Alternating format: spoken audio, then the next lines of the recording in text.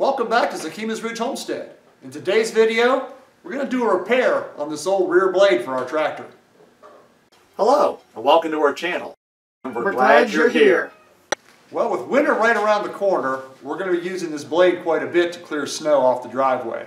And we do have a bigger blade for the front of the truck, but when it's only an inch or two, it's a, it's a little bit too much. And even an inch or two is enough to mess up our driveway as steep as it is. So we'll use the tractor with the rear blade to clear off probably anything four inches or less. The problem we're having with this blade, as you can see, there's a lot of slop in this pin. So what we're going to do today, I've ran to the hardware store, picked up this little bushing, which fits our pin quite nicely. We're going to try and drive this bushing inside this, this housing portion here where the pin goes through and see if we can get it to eliminate a lot of this slop. So come on up here closer and I'll show you what I'm going to try and do.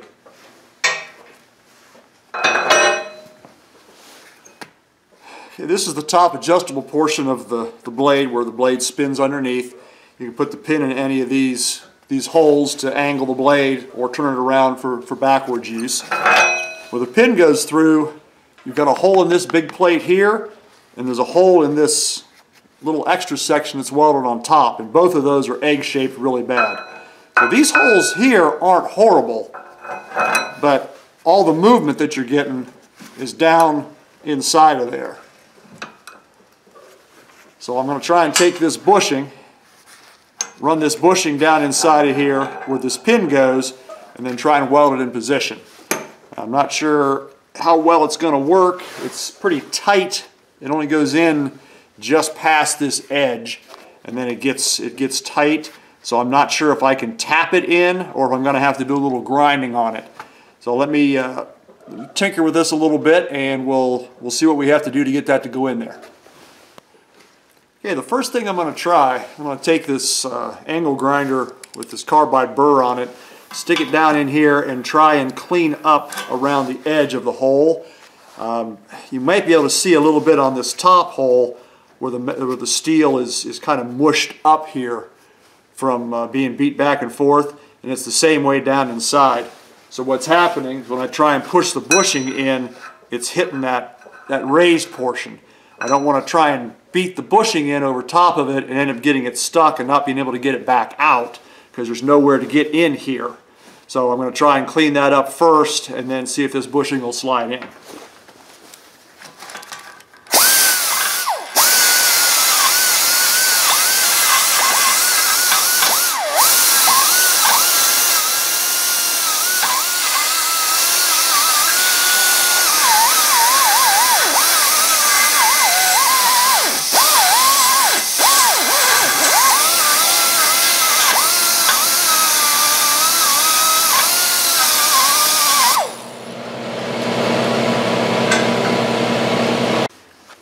Well, that was certainly the trick. I don't know if you've noticed that or not, but when I put the bushing in, it just fell straight all the way down through.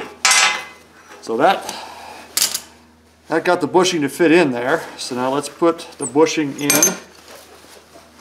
We'll use the magnet again. Put the pin through the bushing. Okay. So now I'll just have to try and get get this front section as squared up to the blade as I can and we'll get down in here and uh, try and weld that bushing in position.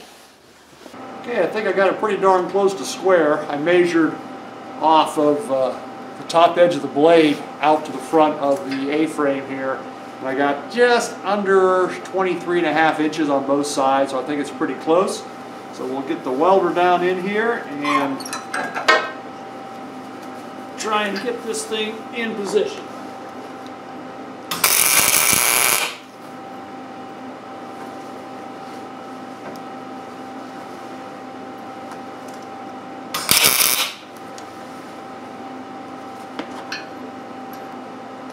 Had my hood set on grind, that's why it wasn't darkening.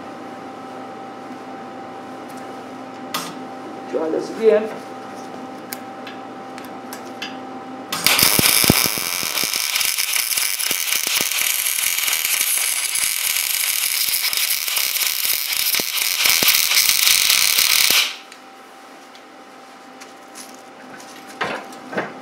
not perfect, but it's way better than it was. It's probably got, uh, oh boy, half of what was sloppy in there taken up.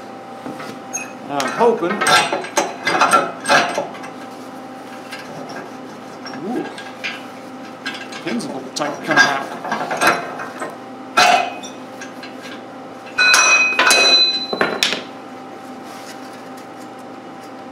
I think the problem we're having is this portion of the pin is worn from uh, being beat back and forth and the tip of the pin which sticks all the way out the bottom is not worn. So it's a little probably bigger diameter than it is up here.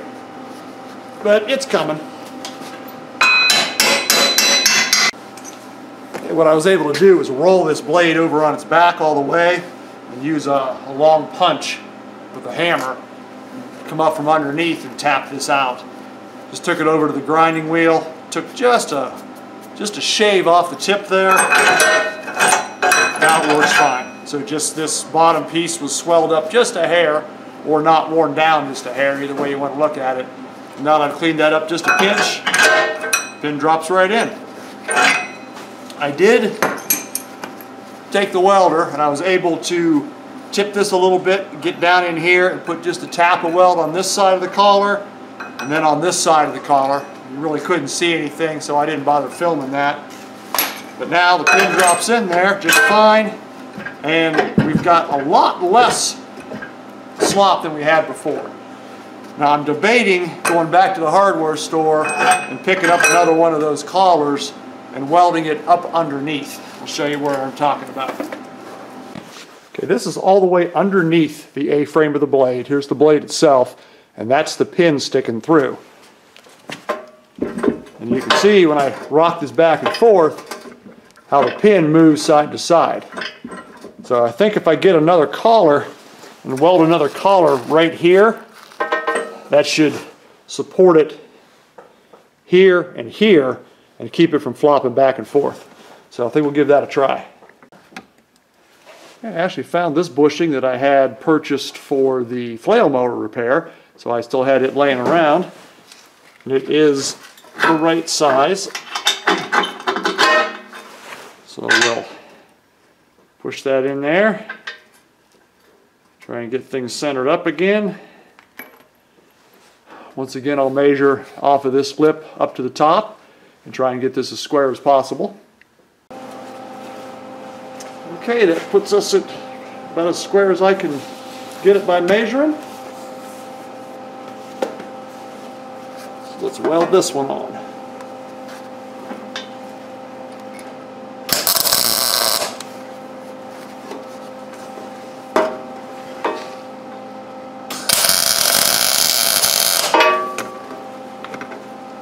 Two tack welds, make sure the pin comes in and out.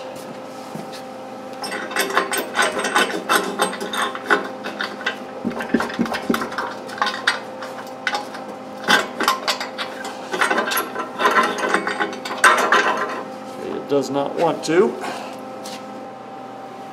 Okay, well I fought that back and forth a few times, had to pound it out, had to break that off there a couple times and re-tack it. I think I got it where it needs to be now.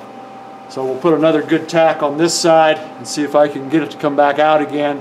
It is tight, so it might take a little bit more grinding on the bottom of that pin because we're, we're good and free right here. Once again, it's when we get to this end where it's not as worn that we have our problem.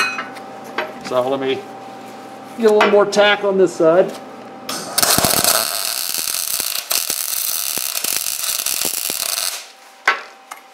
And if I can get it out of here, we will go ahead and weld it in solid.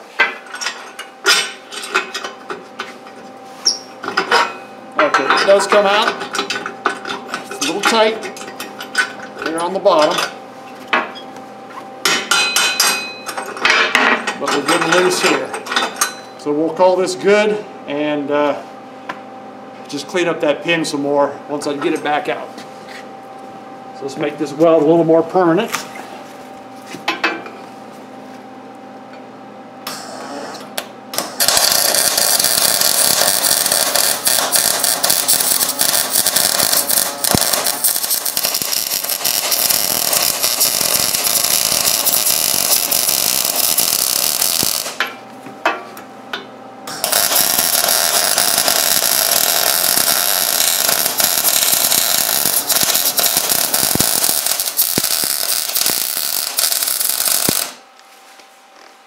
Course, one thing that doesn't help, I can only get weld on the one side, which tends to pull that up. So hopefully we can get that pin back out now that it's welded solid. And we'll go ahead and check.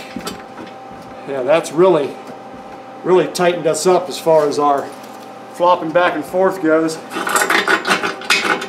And the pin does come out.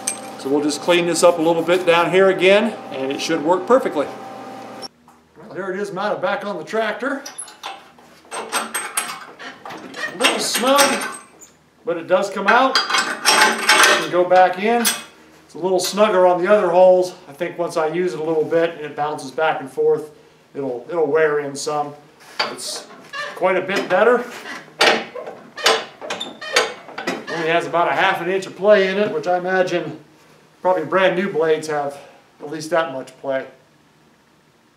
So if you have any questions or comments on our, uh, our rear blade repair, it's not perfect by any means, but we used what we had and it made the blade more functional.